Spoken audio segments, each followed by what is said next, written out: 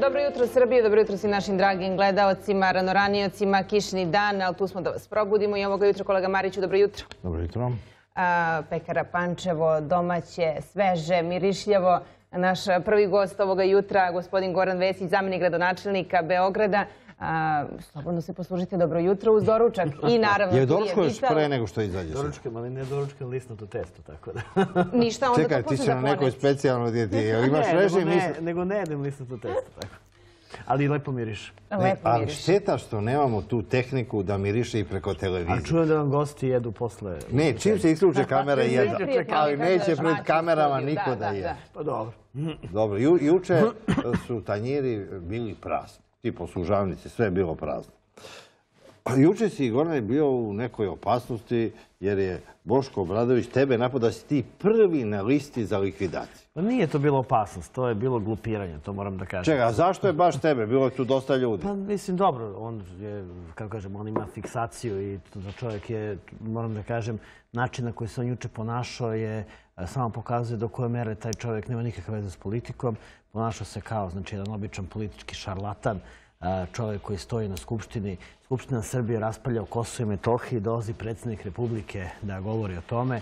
A, najvažnija tema koju mi imamo u posljednjih stotinu- godina. A, on je nekim čudom izabran za poslanika. Sećate se kako je izabran tako što upada u Republičku izbornu komisiju, napada one članice izborne komisije, pretio i tako dalje. A prema tome nikad nije ni izabran, ali nije važno. A nekim čudom se našao u Skupštini, ajde našao se, treba poštovati to što je na kraju izborna komisija mu dodelila taj mandat.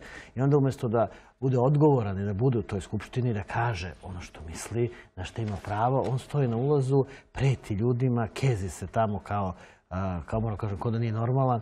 I to je stvarno nevjerojatno. To samo pokazuje... Šta je pisao na njegovom transparentu? Ma nisu to ni čitao. To, je, to samo pokazuje do koje mere, do koje mere, do koje mere je, su i on i čitav, kao on kao vođa te opozicije, ta opozicija izgubili kompas. I kad vidite njega i onih par njegovih nesrećnika što se krili iza onog čadora, vi vidite u stvari zašto to, za tu opoziciju niko ne glasa. Ko, ko je normalan da glasa za njega? Za fašistu, čovjeka koji bije žene, čovjeka koji Ti se si njemu ponaša... odgovorio kad ti je Naravno, rekao da si prvi za Pa naravno sam odgovorio. Naravno sam odgovorio. Znači šta neće, već jedan fašista, e, fašista, jedan čovjek koji, koji tuče žene da vređa ljude, da vređa poslanike koji ulazi u skupštinu. Dakle, to pravo. Ali Ko, je, ko sme da vam zabrani da uđete u skupštinu? Ko sme da vam? Pa to samo fašisti radili. Ovaj nesreći, na, nažalost, svoj Boško Obradović je kopija fašiste. To vam je, kako kažem, ona jedna neuspela kopija fašiste. Znači, to su radili u Mađarskoj fašisti, a, radili su, radili su fašisti Adolfa Hitlera i sad radi Boško, i sad radi Boško Obradović. I to vam je... Ne, znači, on je posle dao intervju za N1, kaže nije se dobro video njegov transparent i onda on mora da siđe Ne, zato je da zaustavi ulazak u parlament. Zato je stajao i vređao ljudi. Pa ko je on da zabrani nekom ulazak u parlament? Pa ko je on? Pa ko je on? I to je, to je, to je najstrašnije što on misli da može da odluči. Pa sećate se kada je dolazio nesrećnik ispred Skupštine grada? Pa kad je pretio tamo, kad je vikao onim ženama nećete izaći odavde, ja ne dam. Znači, ko je on da odluči, da, odluči da, da li neko da može su da opet izađe? e, žene iz SNS-a Pa koje su se pele u, stepenište da su ga one zaklonile pa se nije dobro on stalno ima pa je morao dole da On izađe. stalno Da... ima problem sa ženama. Još od Mare Dragović i Gocu Zelac kad ih je tuko. On stalno ima problem sa ženama. I to je, da kažem, to juče kad gledate to njegovo dobacivanje, taj njegov pogled, vidite, da- vidite, vidite da to je jedan čovjek koji je potpuno infantilan, čovjek koji apsolutno nema nikakav dodir sa realnošću, čovjek koji je tu po zadatku, koji je tu da vređa srpske poslanike, da spreči srpskog predsjednika da uđe u srpsku skupštinu, čovjek koji se zaklanja iza nekog navodno srpskog, u stvari čovjek koji je, koji je kažem, U radi kojoj za sva- to zemlji u Africi može neko da spreči predsjednika Ne, da uđe u ono skupštinu, da ga blokiraju njegovu palatu, da... pokušaj sprečavanja da uđe srpskog predsjednika, da uđe u srpsku skupštinu. Pa to vam je, to, to ni Ramuš Haradinaj ne bi uradio. To što je Boško Obradović pola. To ne bi uradio ni Ramuš Haradinaj. On bi bio civilizovaniji od Boška Obradovića. Znači, ali to vam je tako. Desilo mu se to u životu, da je kojim čudom postao poslanik, trajaće to još neko vreme, a, za, ostaće, ostaće zapamćen po tome što je, što je upadao u RTS, što je preti ljudima, ostaće zapamćen po tome što, što e, je radio sve što je moglo protiv interesa Srbije i to je napravio na kraju tako. Svako bira kako će ostati zapamćen u istoriji, on će tako ostati Međutim, on je ušao posle i održao neku konferenciju za štampu u zgradi Skupštine, a nisu ulazili u dvoran. Pa to vam još govori o tome, ali zato je uzeo dnevnicu. Znači ušao, uzeo dnevnicu, uzeo pare od države i sedeo i nije ušao da radi. Znate, Juče smo imali sednicu uh, o Kosovu i Metohiji. To je jedna od najznačajnijih sednica Pa sigurno, Srpskog parlamenta sigurno, gdje se rešavaju uh, ključno pitanje koje sto godina tako, srpski narod nije u stanju da Došao je predsjednik Republike da kaže, kako je sam rekao, istinu građanima o tome u kakvoj su mi situaciji. Da li Evo i ima naslovne nešto... strane danas to prenose da je predsjednik Vučić u Skupštini Srbije predstavio izveštaj o Kosovu i Metohiji, da je pitanje dana kada će Albanci da napadnu Srbe, naravno ovo je taj Predsjednik Vučić naj... u Skupštini, gotovi smo ako ne rešimo Kosovo. Da Za samo suštini- 80 godina bit će nas duplo manje nego Albanaca. Srbija nikad neće je. dozvoliti novi pogrom na Kosovo. Vladimir Putin i Xi Jinping su nam najvažniji saveznici. On je pročitao uh, koliko će za desetak, 20 godina biti Srba, koliko Albanaca Predsjednik Vučić je na došao... Balkanu. Da će to biti dva najbrojnija naroda i da, je, da smo prinuđeni za istorijski sporazum sa Albancima, znači ćemo propasti. Predsjednik Vučić je došao da kaže istinu e, poslanicima i da razgovaramo otvoreno o Kosovu i Metohiji.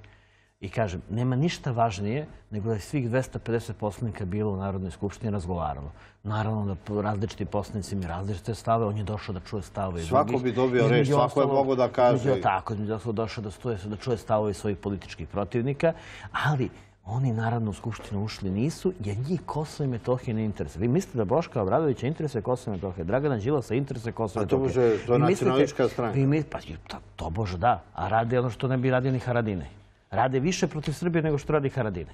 Znači, toliko su, toliko su srpske nacionalistička stranka. Znači, to što u oni narodu rade... postavlja pitanje da li se to radi smisleno ili, da ne kažem, iz gluposti. Evo naslovna strana, hoće li Vučić uh, preživjeti ubijeni zbog Kosova, Slobodan Milošević i Zoran Đinjić izgubili su glave ubrzo pošto pokušaju da reše problem Kosova i Metohije, a sada je ucenjen život Aleksandra Vučića, Vučić u Skupštini, pošto to je dva scenarija. Činjenica je, činjenica je da... Iako delo je dramatično, ali rešavanje Činjenice- kosovskog pitanja je opasno za bilo koga ko, je se tačno. pred. To je Ko to i tačno i činjenica, i činjenica je da a, velik, mnogim velikim silama ne odgovara rešavanje kosovskog pitanja. Mnogima odgovara da ostane zamrznut status, a mnogima odgovara da, se, da tu postoji nekakav problem, drugima odgovara da mi priznamo a, tu jednostranu nezavisnost. Znači jednostavno a, mnogim velikim silama u svetu ne odgovara da se ovaj, o- da se ovaj problem reši na zadovoljstvo i Srba i Albanaca. Odnosno ne odgovorim da se Srbi i Albanci dogovore. Jer ako bi se Srbi i Albanci dogovorili, onda su se dogovorila dva najveća naroda na Balkanu i onda na Balkanu više problema nema. I to je nešto što očigledno ne odgovara ljudima, nekim drugim silama koji imaju nekakve druge interese. hoće I to je- destabilizovani Balkan, a ne Tako, i to je jasno, i to je jasno, i to je jasno kao dan. I to je nešto što, to je opasnost sa kojom se suočava predsjednik Vučić. Predsjednik Vučić je jedan, posle Zorana Đinđića, jedini političar koji je izašao u novijoj srpskoj istoriji i rekao da ja želim da rešim ovaj problem. Naravno, on ga rešava sa mnogo više političkog autoriteta. Nažalost, sa mnogo manje prisustva Srbije na Kosovu, jer smo od 2003. kada je Đinđić pokušavao da reši taj problem do 2019. Evo, bio si najbliži izgubili saradnik 16 Zorana godina. I znaš kakva je bila atmosfera. Danas to ljudi izokreću. Nije Đinđić hteo da reši Kosovo. Ne, on je to hteo da reši, ali, ali nije imao političku snagu da to reši, niti je u svetu apsolutno bilo, bilo kakvog On je interesa. pisao pisma predsjednicima raznih ono zemalja, sad su otkrivena ta pisma. Jeste, ali ono što je važno, on je pokrenuo to pitanje. I on je u ime Srbije pokrenuo pitanje i on je bio svestan da Srbija mora da uđe u rešavanje unapred, da, da, kako je krene unapred događajima, jer je znao da će oni u jednom trenutku samo proglasiti nezavisnost. 2006. 7. 8. On je 10., rekao, njegova teza je bila, ako nešto ne preduzmemo, Kosovo klizi ka nezavisnosti. ne, pa to je njemu I bilo on, I jasno. on je rekao, ajde da nešto To uradimo. je njemu bilo jasno. Njemu je bilo jasno da će Kosovo u nekom trenutku, kažem, proglasiti nezavisnost. Da li je to bilo, da li to trebalo bude one godine kad se desilo ili godinu dana ranije ili kasnije, ali ne, to bi se desilo. I zbog toga je rekao, hajmo da krenemo događajima u susret. Aleksandar Vučić On je radi... predlagao i e, podelu i razne On varijante da on Srbija opstane on na On je tražio rešenje. Kao što Aleksandar Vučić danas traži rešenje. Kažem, Aleksandar Vučić to radi sa mnogo više političkog autoriteta, ali s druge Jer ima strane... veliku podršku. Ne volja sa Zoran Đinćem da ga je Srbija razumela tek kad je ubijen. To je tačno. Ali s druge strane, Aleksandar Vučić ima... Ima sva- preko 50% podrške Ima i i- on je u stanju da nešto reši što njegovi prethodnici nisu. Ne samo to, ali Aleksandar Vučić ima 16 godina izgubljenih na Kosovu. Od 2003. do 2019. u kojima nismo rešavali taj problem. Ima mnogo goru situaciju jer je Kosovo umeđu vremenu samo proglasilo nezavisnost. Umeđu vremenu su uvedene carine na Jarinju i Brnku što su radili Tadić, Borko Stefanović i ona ekipa. Umeđu vremenu se desile mnoge negativne stvari koje, su, koje, koje su nisu posle 2003. godine. I to je nešto o čemu stalno govori Aleksandar Vučić. Budemo li čekali, Znači, budemo li čekali Mi ćemo svakog dana imati sve manju prisutnost na Kosovo i Metohiji, Mhm. naših ljudi će biti sve manje i mi ćemo onda u- sprovesti nesvesno plan Prištine, a to je da jednog dana oni kažu pa čekajte, pa vašeg naroda tamo nema, zašto vi u stvari borite? Tad I to prestaju je- svi I svi ovi. I oni idu na to. svi ovi, i Đilas, Svaka godina i sve je manje Srba. I svi ovi, i Đilas, i Jeremić, i Obradović, koji inače ništa ne bi da se ništa radi na Kosovo i Metohiji, pošto ništa ne znaju da urade, oni u stvari i- idu na ruku tom albanskom planu. Svesno ili nesvesno. I oni u stvari pokušavaju da omoguće Albancima da oni jednog dana potpuno preuzmu Kosovo i Metohiju. Juče ste čuli frapantne podatke.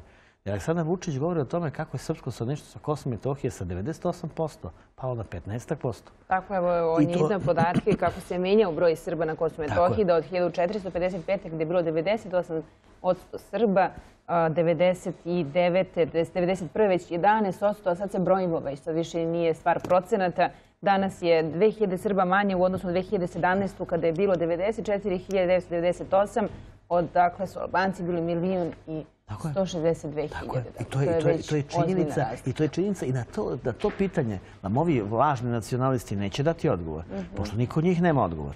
Niko od njih nije u stanju da ponudi bilo šta za Kosovo i Metohiju. Niko od njih nije u stanju da kaže evo mi imamo neko rešenje. Evo pitajte Đilasa, pitajte Jeremića, pitajte Jeremić inače pokazao šta zna o Kosovo i Metohiji kad je napravio onaj najgluplji potez u istoriji Ali evo diplomatije. čitali smo kad da Jeremić je rekao da vezano za pitanje Kosova da treba napraviti ozbiljne platforme, dotaći se pitanja o kojih se još niko nije dotakao. Ne znamo Pa kao tačno on. koje su to Pa kao pitanja, on što je ali uradio kad je bio ministar spoljnih poslova, kad je tužio, a, kad je pokrenuo spor pred Međunarodnim sudom pravde, e, gde je većina zemalja sudija, u stvari iz većine zemalja koji su priznali Kosovo i Metohiju, onda su oni lepo doneli presudu da je Kosovo moglo samo proglasi nezavisnost. I danas na svakom sastanku Hašim Tači i Ramuš Haradinaj govore Vučiću, pa evo vi ste, vaš ministar spoljnih poslova Jeremić je udario, tako, da. udario pečat. U naslovnim Znači, stranama novina se zahvaljuju Tako, pa da imali su naslovne strane novina na Kosovo i Metohiji gde su se zahvaljivali Jeremiću. Znači, vjerojatno smislio ponovo nešto genijalno kao što je to smislio. juče je on dao Kaže, je- kaže evo, evo dotaći samo- se pitanja koje se nisu dotakli. Samo može Jeremić da smisli. Ne, još...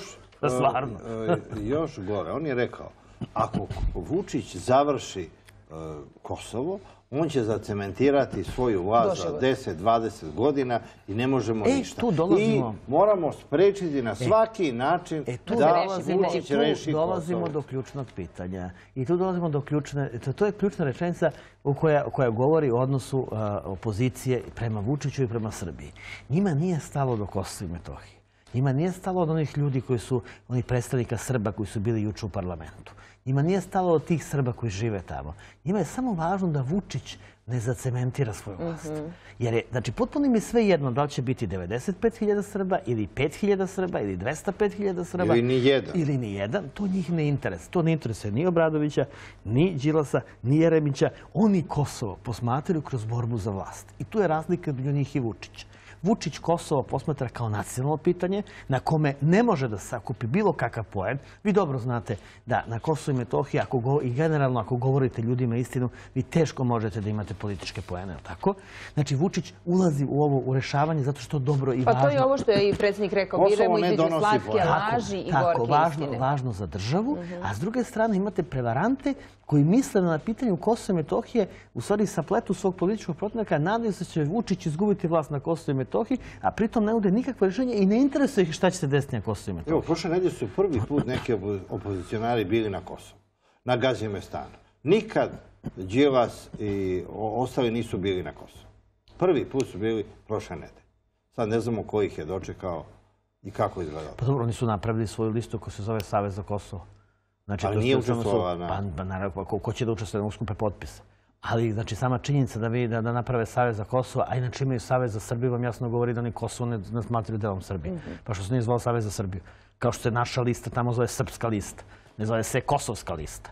Kao što bi, kao što bi oni nazvali svoju listu. Kao što bi Boško Obradović nazvao svoju listu. Da, ne, da ima slučajno dvoje ljudi koji možda skupi tamo. Hoću da kažem, to je, ta, ta rečenica i, ovo, i njihovo ponašanje govori o tome koliko su, koliko su neodgovorni prema, prema, prema najvažnijem nacionalnom pitanju, jer na ovom pitanju nema strančarenja. Na ovom pitanju svi moramo da budemo jedinstveni. Na ovom pitanju moramo da stanemo iza predsjednika koji je dobio preko 50% i da ga rešavamo nacionalno odgovorno. Možemo da se svađamo oko drugih pitanja. Da li, ne znam, kazna za parkiranje treba da bude 25.000 ili 24.000 ili 26.000 dinara ili ne znam, tako. A oko ovog pitanja, oko ovog pitanja, tako, ovog pitanja nema svađe. Zato što je ovo pitanje nacionalnog opstanka. Zato što mi sa Kosovom i Metohijom, sa rešenim pitanjem Kosova i Metohije, napredamo ekonomski. Zato što se u ovoj zemlji otvorilo 200.000 radnih mjesta od kad je Vučić na vlasti. 200 fabrika je došlo. E, Najvažnije rešamo budućnost I sta- naše i- dece koje nećemo i- ostavljati I šta ovo mislite, da li će strani, tako je, i da li će strani investitori dolaziti ako znaju da može da izbije nekakav sukob? Naravno da neće. A zamislite gdje će ta deca živjeti, ako da li će živjeti u zemlji u kojoj sutra može da izbije rat ili će htjeti da idu negdje druge gdje je mirnije. Znači, hoću da kažem, mi ovim rešavamo pitanje budućnosti Srbije. Vučić ga rešava. I onda imate pajace, političke pajace, kao što je Obradović, kao što je Jeremić i Đilas, koji na tome bi da zarade neki pojan. Ova dvojica su bar juče e, nisu bila pred Skupštinom, a ovo koji, koji stoji ispred Skupštine i pokuša da spreči, da spreči srpskog predsjednika da uđe u srpsku Skupštinu. Pa kažem, to ni Ramuš Haradine ne bi radio. Evo da ste njega doveli juče u Beograd i pitali Goran, evo, šta bi radio, to ne bi evo radio. za kraj. E, kad će biti završena Pavlovska pijaca? Evo, mi vidimo... U septembru. Mislim, ona je već kontu- gotova. Ona je već vidimo gotova. konture, to je jedna konstrukcija kakve su pijace Jeste, ja sam posebno srećan i zadovoljan sa tom pijacom. To je, to je pijaca koja izgleda onako kako izgledaju moderne pijace u Madridu, u Valenciji, u, u a, Barceloni, kako izgleda u Kopenhagenu. A, to će biti onako kombinacija, a, znači ove klasične pijace koje mi zamišljamo i mjesta gdje će ljudi mogu moći da provedu bukvalno ceo dan. I zaista to je mesto koje, koje će biti, koje će onako ka- kako treba da izgleda moderna tržnica. Ono je, ono je građevinski završeno, ostalo su uradi još neki sitni detalji par nedelja. Posle sledi tehnički prijem i sve to. Evo vidimo vidimo. prilike kako To, izgleda. to je još Dok je vreme tako gradnje, je, Tako je bilo. Sad ćete vidjeti na kraju kako je, kako je na kraju, e, kako ona sada izgleda. A, ona je ozbiljna, ona ima dva nivoa parkinga, ona ima dva nivoa unutra. Imate parking za, za ljude koji dolaze do drugom nivou, parking za one kupce, odnosno za prodavce i za vozila sa kojim dovoze robu. A, mislim da je maksimalno iskorišćen prostor. Ono što želim kažem, arhitekte su tri dame iz Beograda koje su pobedile na arhitektonskom konkursu i zaista su uradile jednu prelepu prelep objekat po kome će se Beograd pamtiti i oni su u svom životu napravili nešto što će ostati za njih kao, kao, kao Evo, vid- njihov- evo vidimo kako će Da, izgledati. tako će to izgledati. To će biti prva moderna To pijaca je u zapravo Beogradu. shopping centar Pa pijaca. kao, kao shopping centar, kao mali shopping centar i kažem vam, tako izgledaju moderne pijace u. Europi i vreme je da Beograd dobije godina, pijace kad kako je drugi. najavljena rekonstrukcija pijaca, najavljivalo se da će otprilike ovako izgledati zeleni venac, Neće svaka. E, Kalinić to ipak se ostalo na klasičnoj svaka, pijaci. Neće svaka. Galanić mi sad rekonstruišemo, on će ostati otvoren, imaće, bit će pokriven, ali ne ovako potpuno Mhm. pokriven. A, Bajloni će, tek sad radimo projekat za rekonstrukciju Bajlonija. Ne, će ovo što je rađeno, to je samo popravke. Da, to su popravke, pošto znam da vas interesuje Bajloni, jer ste tamo Da, stalno. da, Moram ja sam domaći, isključivo da. zanimaju samo pijace, Ali, tako da... a, ne, on je u pravu. Pijace su mesto gdje vi osjetite poznaje zgrada, narod. gdje se gdje možda U svakom pričate sa ljudima, gradu ne postoji sveta bolje mesto. najvažnije je otići na pijacu. Tako je, tako da je Marić tu u pravu. A što se tiče Bajlonija, on će imati garažu ispod, imaće hiljadu parking mesta i gore će biti pijaca. Tako da će to biti malo specifično odnosno od druge pijace, kao ni sada rekonstruišemo. Znači neće svaka biti ovako, ovo je mala pijaca, Senjačka će biti slična, a, to je isto mala pijaca, ali u svakom slučaju ćemo sve pijace rekonstruisati. Jer vreme je da Beograd dobije normalne pijace. Ne znam da li se građani I da sećaju. se vratimo domaćoj proizvodnji i svemu ono što... Kako, kako je izgledala Pavlovska pijaca pre dve godine? Ne, svoje vremeno je najavljivano da će i Bajloni i Kalinić e, pre podne biti pijaca, a poslije podne trg. Ne. To je nemoguće napraviti. Nemoguće. Nemoguće. To u Srbiji nije moguće. Znate, možda u nekim zemljama jeste. a, To ima u- se, pa ima, ima u, ima u Švajcarskoj, ima. Probalo se sa tim u Zemunu, pa znate sami da nije se baš pokazalo najuspješnije. Imate onaj deo pijace koji je trg, ima tezge, pa to, e, sve na tezge da su, kako kažem, pod vetru se, se dešava da se... Evo posljednja vest, ono što je predsjednik Vučić juče naredio, na, na- najavio da je moguće napada Albanaca na Srbe, sirene u Mitrovici, Rosu upale na sever Kosova i Metohije. U Severnoj- Kosovskoj Mitrovici začule su se sirene za uzbunu, sazna RTS. Jedinice ROSU upale na teritoriju sve četiri srpske opštine na severu Kosova i Metohije. Direktor eh, vladine kancelarije za Kosovo i Metohiju Marko Đurić rekao je za RTS da su jedinice ROSU naoružene do zuba upale na sever Kosova i Metohije sa ciljem da zastraše i izazovu paniku s hapšenja koje je prethodnih dana i najavljivao predsjednik Aleksandar Vučić. A Kad je on to rekao, pre nekoliko dana, oni su rekli da je to širenje panike. Pa jesu su rekli, sad je vjerojatno Obradović srećan. I kaže Đurić da je trenutno zapravo situacija zaista dramatična. Pa jeste, to je predsjednik Vučić juče najavio. Rekao je da, će, da je samo pitanje trenutka kada će Albanci upasti na sever. Kao što je rekao da ćemo, da ćemo mi odbraniti sever i to je naša poruka apsolutno svima u svetu, pa i Albancima. A očigledno je da su nervozni jer vreme očigledno ne radi za njih. Očigledno je da plan za proglašenje nezavisnosti Kosova ne ide onako kako su planirali i to vam samo govori pod kakvim pritiskom su ljudi naši koji žive na severu Kosova i na Kosovo i Metohiji. Ali opet vam kažem, I samo to govori koliko, je, kol- koliko su neozbiljni ovi Obradović, Đilas i Jeremić koji juče nisu došli na Skupštinu. E sad možda zamislite, e, možda zamislite a, a, ka- kako, kako, se, ka- kako se odnose prema drugim pitanjima, ako se odnose prema najvažnijim nacionalnom pitanju. Evo, o, pre neki dan u utisku nedelje došli su samozvani najpametniji Srbi i oni su rekli da je Kosovo... Ko su, ko su ti? Pa Jovo Bakić i A. još jedan. I ovo je najpametniji, da. Da, samozvani najpametniji, oni su rekli da je Kosovo izmišljeno pitanje koju vlast koristi, e, plaši narod. Inače, postoje važnija pitanja kao što je ure- uređivanje televizijskog programa, raspored serija, humorističkih e, programa, zabavnog programa i e, mafija i odnosi između škaljarskog i kavačkog klana. Kažu da su to važnija Pa dobro, pitanja. na Đilasovoj televiziji najvažnija stvar uređivanje zabavnog programa, pošto bi onda prodaje serije, da prodaje sportske prenose, da prodaje sekunde, nema ko za njega važnijih pitanja nego uređivanje zabavnog programa. Znate, Kosovo su- ne može da se prodaje reklame. Pa naravno, na Kosovu ne može se prodaju reklame, zato Đilas se ne bavi Kosovo.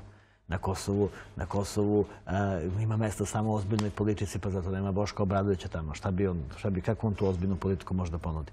Razumete? I to je, zato, zato ni beže od tog, od tog pitanja kao đavo od krsta. Recite, šta možemo očekivati od ovakve, ovako, krenulo je jutro sa Srbi, prilično dramatično. Srbi moraju da ostanu jedinstveni, Srbi moraju da, da čekaju... Ovo je namerna provokacija. Naravno, naravno, treba da, da budu, da pokažu, o, sad, se pokazuje koliko je važno što smo, što je Srpska lista dobila preko 90% glasova i što su Srbi, što su Srbi, kako da kažem, jedinstveni i što, imaju, što imamo samo jedan politički entitet koji, koji razgovara, jer namera Albanaca i namera stranaca na Kosovo i Metohiji da ih podele, da ih posvađaju, da, razore imaju jedno pet takvi kao što je Rada Trajković, da a, ne znam, međusobno se svađaju i to je čitav, to je čitav njihov plan. A, tako da u, svakom slučaju ovakve će provokacije biti još jer u, su kako, se, kako, tako, kako se približava rasplet, kako, ne, kako njihov plan koji su planirali, a to je da Srbija prizna tu njihovu nezavisnost, ne ide, kako očigledno da Vučić to neće da uradi, one će biti još, još će biti drugih provokacija, to je nešto što možemo da očekujemo. Hvala vam puno što ste izvojili vreme i bili naš gost.